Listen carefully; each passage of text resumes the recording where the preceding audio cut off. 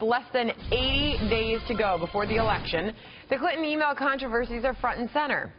The FBI's investigation into Secretary Hillary Clinton's use of a private email server while at the State Department uncovered nearly 15,000 emails and documents that had not been disclosed previously by her attorneys. This comes as Republican presidential nominee Donald Trump calls for a special prosecutor into the appearance of pay to play at the Clinton Foundation. Let's listen. The amounts involved, the favors done, and the significant number of times it was done require an expedited investigation by a special prosecutor immediately, immediately, immediately. All right, let's bring in Gianno Caldwell, a Republican strategist, and Jessica Tarlov, a Democratic strategist. All right, first up, if these 15,000 emails, Jessica, I feel like I'm going to go to you first on this one. That's shocking. If these 15,000 really o'clock in the morning. uh, if they were so boring, as she joked about on Kimmel, why didn't she just put them all out there to begin with? Frankly, I have no idea. I mean, we were talking about this in the green room.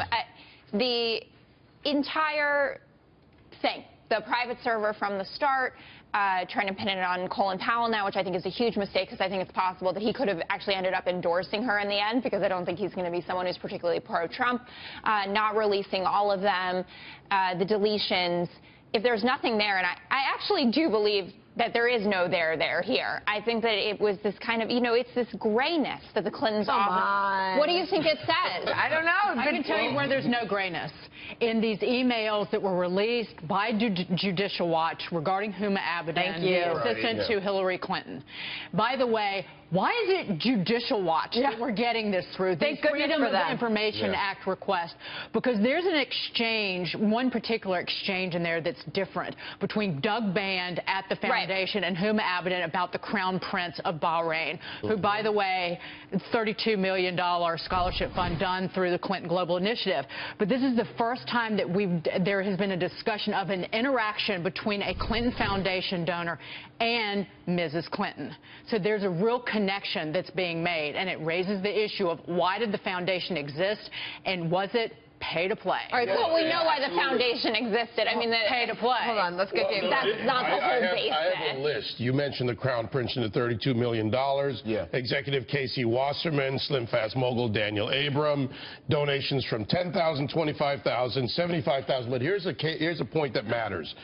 In a response to a court order, and this is where it gets interesting for her, in a response to a court order for Judicial Watch, Clinton declared under penalty of perjury, and I quote, that she had directed all quote, directed all my emails on clintonemail.com in my custody that were or are potentially federal records be provided to the Department of State, and on information and belief, this has been done.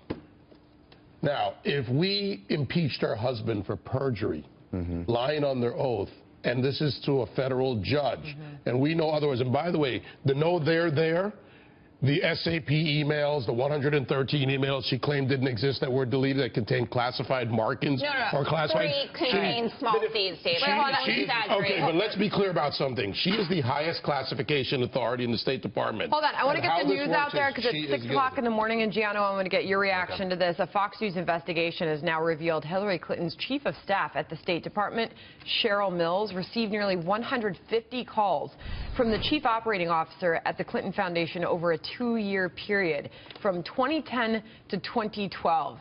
Does this, is there, what are just the sheer optics of that? I mean, if we look at Hillary, I'm from Illinois. I think this whole situation would get Rod Blagojevich questioning her ethics, sincerely. when we, we can argue and That's debate. I mean, You should use it seriously.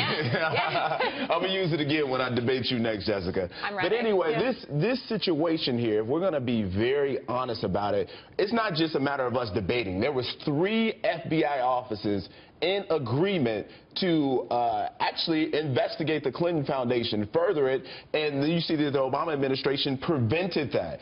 That in and of itself is a problem, and I think Donald Trump is right when he says we need a special prosecutor because we see, even when it came to her being in charge of the State Department, over 60 companies donated money that had business before the State Department. Most politicians would say that was ille- not illegal or Conflict unethical. of interest. It's a, it- It's it actually is a a conflict. violation of ethics under the executive branch because I worked under the executive branch code of ethics. I went back and looked through the book that I was given to read. Okay. And it is a violation to do that. All right, well.